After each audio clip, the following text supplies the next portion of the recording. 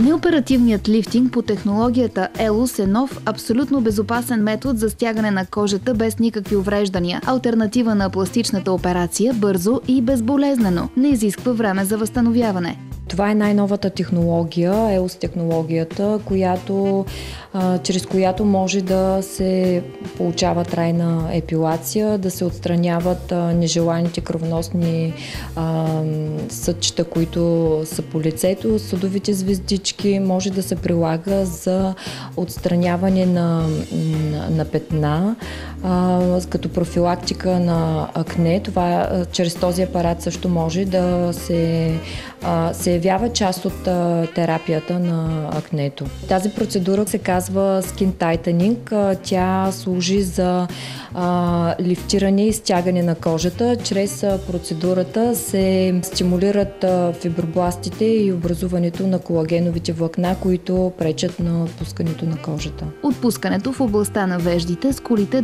долната челюст и шията е подобрено в резултат на незабавния отговор на тъканите. По този начин кожата възвръща младежкия си блясък и здравина. При процедурата не настъпват никакви осложнения. Няма болка, изгарания, утоци или зачервявания. Охлаждането на повърхността на кожата по време на третирането и с елус осигурява допълнителната безопасност на процедурите за стягане. След процедурата не се налага да избягвате слънчевите лъчи. Колко време отнема една такава процедура? Ами в зависимост от зоната, която се работи, по принцип, ако се прави лице, отнема около по 30 минути. Процедурата може да се прави на лице, на шията, на деколтето, седалищната област, може да се прави на корема за стягане. Пациентите сами виждат постигнатите резултати след всяка една следваща процедура за стягане на кожата. Върху подмладяването на кожата на лицето и тялото работи комбинирана светлинна и електрическа енергия. Апаратът изпраща светлинен импулс към проблемния участък от кожата. Импулсът прониква чрез горните слоеве на кожата в дълбочина, като по този начин активира образуването на колаген и еластин, които отговарят за младостта на кожата. След процедура елос подмладяване ви очаква равен, здрав и сияещ тен на лицето.